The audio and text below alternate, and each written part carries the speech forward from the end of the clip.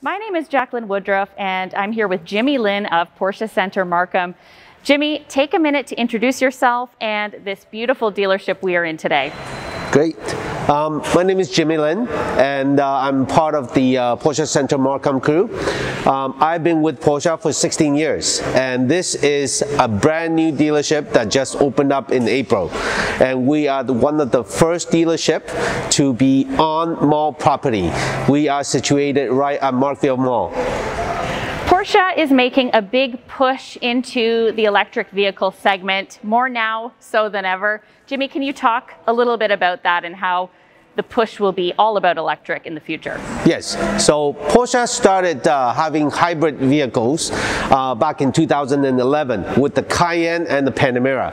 And after that one, uh, the plug-in hybrids uh, came in for the Panamera and the Cayenne as well. Uh, the next one after that was actually the 918 Spider, which is a performance supercar uh, that is a plug-in. Um, um, and now we have the all all-new Taycan that's 100% fully electric. Um, in the future, what we will also have next year is actually a Macan that's going to be fully electric as well. And the Macan, for anyone who doesn't know, is a is a mid-size Compact SUV. SUV, yes. Compact and SUV. that one there is going to be the top of the line model for the Macan in the future. Excellent. So we have a Porsche Taycan here. And the Taycan launched, would you say a year ago? Yes. Okay. Taycan launched in 2020, and this is the second year, 2021. Yes. Amazing. And and tell us about the Porsche Taycan because there's so much to unpack here. But what people love is that, as you said, it's 100% electric. Let's talk about this car. What makes it different than other electrics out there? Well, with the Taycan, being that it is a Porsche, so we focus on the performance aspect of things, as well as being a German brand, it is focused on the build quality as well. It is, uh, if you look at the design of the vehicle, it is fully aerodynamic with very, very low coefficient of drag. Okay, in terms of the styling of the vehicle, it's very low to the ground, okay, but it still allows you to get in and out of the car extremely easy. Yes, even the side of the car, if you look at the wheels, these wheels are designed so that you don't have any wind that will allow it to slow down the vehicle. Let's talk about performance, as you mentioned. How many horsepower can we get in this electric vehicle? Ah, so there is three different models for the Taycan.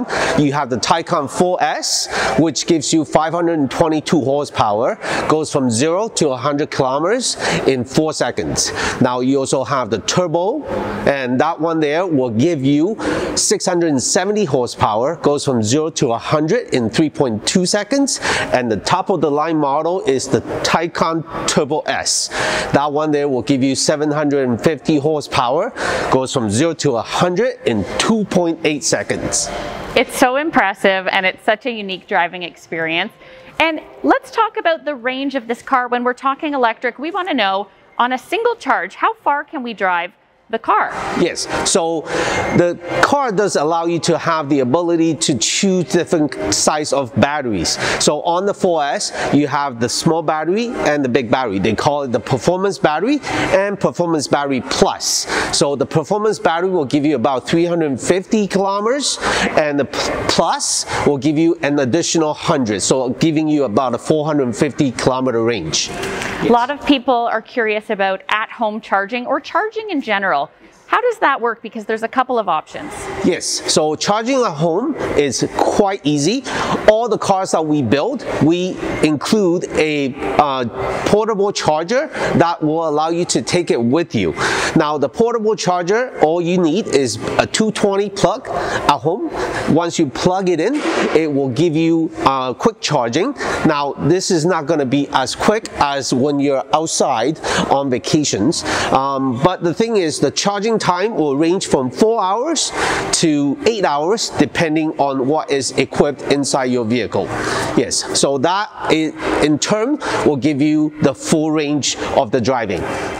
When you're on the road, um, Porsche is actually offering three years of free charging on all the turbochargers that's across Canada.